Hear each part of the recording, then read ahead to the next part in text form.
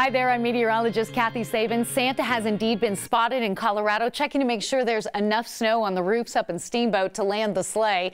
We have a progressive pattern, a series of storms moving through from the northwest to the southeast, dropping a couple of inches of snow here and there.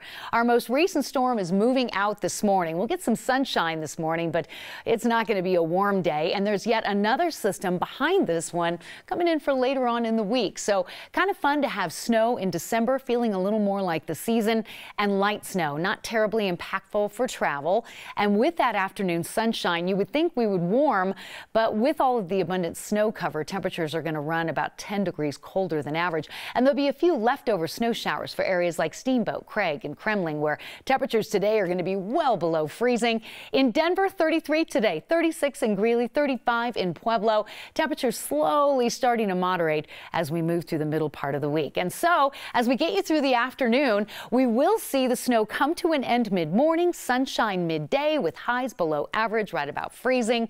We're typically in the low 40s. We do get there Wednesday and Thursday. Another system brings the chance for a little light snow to us on Friday, and then a nice warming trend. A week from, well, yesterday would be the winter solstice. So we're going to celebrate the start of winter on Monday with temperatures in the lower 50s. That sounds pretty nice. Beautiful shot, wintry scenes coming in this evening on the digital network. Do keep those weather pictures and weather reports coming. Have a great day.